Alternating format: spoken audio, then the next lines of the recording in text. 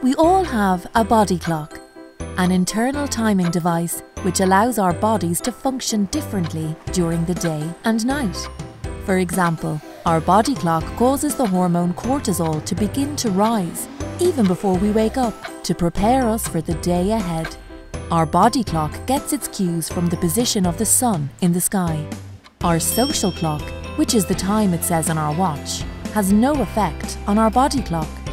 We experience jet lag after a long flight because it takes a couple of days for our body hmm. clock to reset to the position of the sun in the sky in our new destination. During standard time, when the sun is at its highest point, our watch reads noon. So our body clock is aligned with our social clock.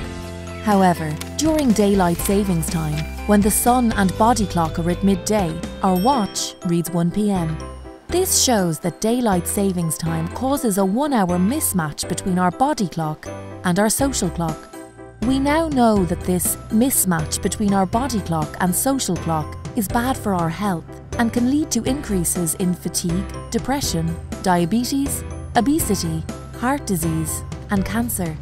We also know that by staying on standard time, we will get more light in the morning, which makes sure our body clock keeps in time with the sun. So for our health, it's best to abolish daylight savings time and lock the clock on standard time.